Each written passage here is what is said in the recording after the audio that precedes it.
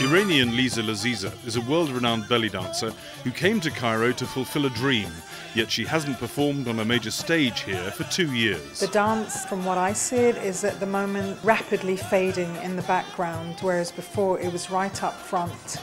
It's very serious, and I'm part of what's going on. I'm part of the big decline, what's going on in the dance. During the ban on foreigners, Liza was forced to teach for a living. Now she's free to dance again. She's had trouble finding a suitable platform for her talent. Accent. One. Egypt's been the central nervous system for the dance for a long time now. An attitude, accent. It's not as um, great as it used to be, and that's because of the climate of the times, socially, economically, religiously, and there isn't any education on the dance in Egypt. So I really do predict it fading into the background uh, as we speak.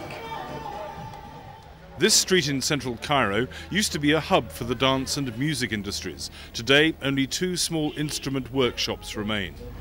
The decline of big nightclubs, the rise of pop videos, an increasingly conservative society. All of these elements are conspiring to marginalise the dance. Performers here say that Egypt takes greater care of the opera.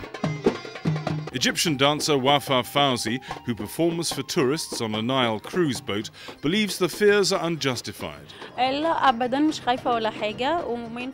not worried about the dance. It can't really die out in Egypt. It's an important part of our popular heritage.